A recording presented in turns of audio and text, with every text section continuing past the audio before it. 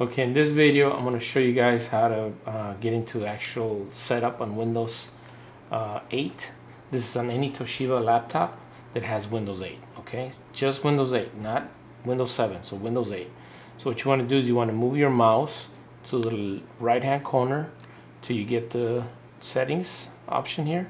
Click on settings, and then what you want to do is you want to go to change PC settings. And in change PC settings, you want to go to general which is here. And then under general you want to actually scroll down on the left on the right I'm sorry. Scroll all the way down to advanced startup. And you want to click restart now.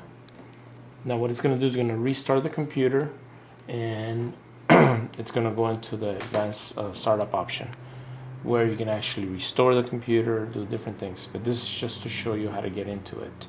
Okay now what you're going to do is you're going to go into troubleshoot which is here.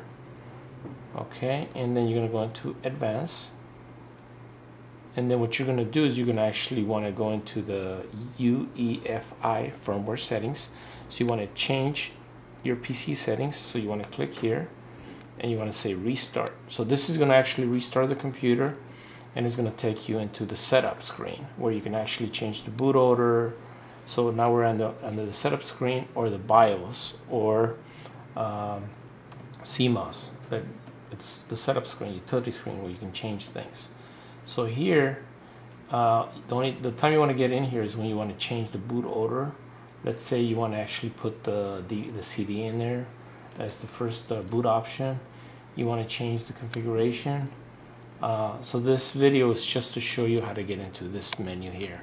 So you can't press on F10, F2 uh, to get into this you actually have to uh, do it this way okay? Um, that's it. Now once you're done you click exit and yes